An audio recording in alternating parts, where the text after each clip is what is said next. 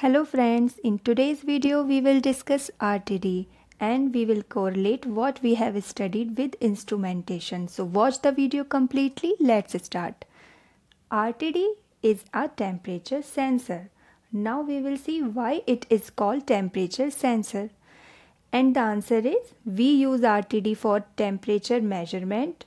RTD senses the temperature and provide its reading. So it is a temperature sensor.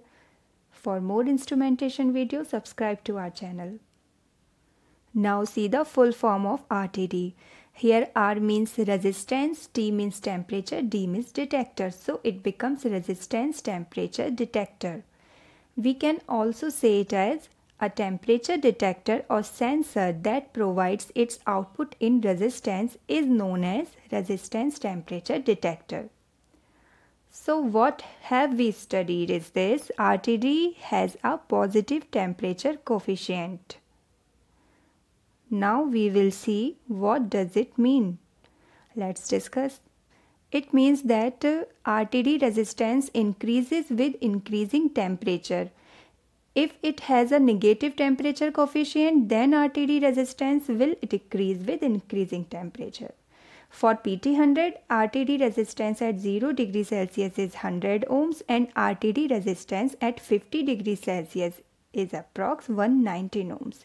If we increase the temperature further, we will find that resistance at 100 degree Celsius is approx 138.5 ohms. So it is clear that the resistance increases as the temperature increases. Now this is the important point. RTD resistance vary with temperature linearly. Now let's discuss what does it mean. Here RTD resistance and temperature curve is shown in this image.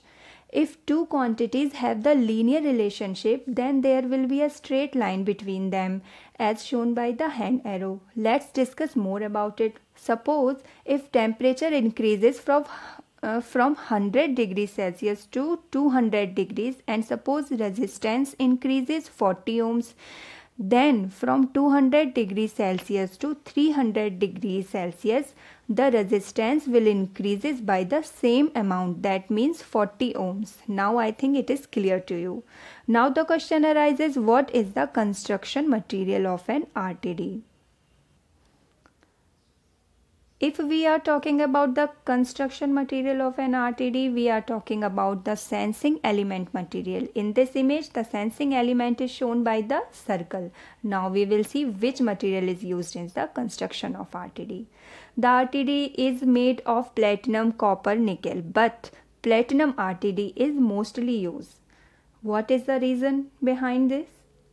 So the reason is to in in platinum resistance and temperature characteristic is most linear.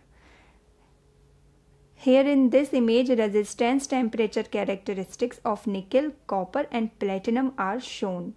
You can see that for platinum resistance and temperature characteristic is most linear. Now we will see RTD temperature calculation formula. So what we have studied RT is equal to R0 1 plus alpha T where RT is the resistance at T degree Celsius R0 is the resistance at 0 degree Celsius. What does it mean? It means RT is the resistance measured by multimeter. R0 is 100 ohms. Alpha is equal to 0.00385.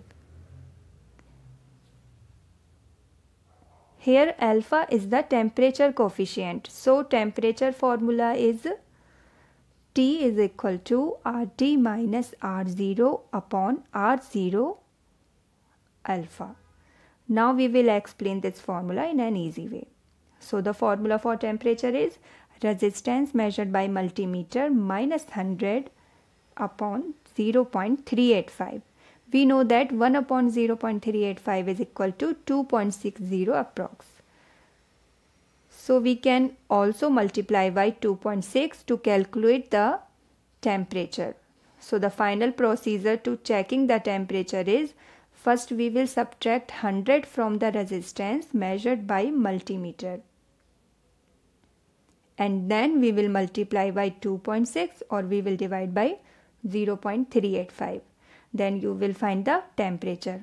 But people have doubts regarding multiply and divide. So remember you can do both. Either multiply by 2.6 or divide by 0.385 so that was our video. If you like the video do like and share it with your friends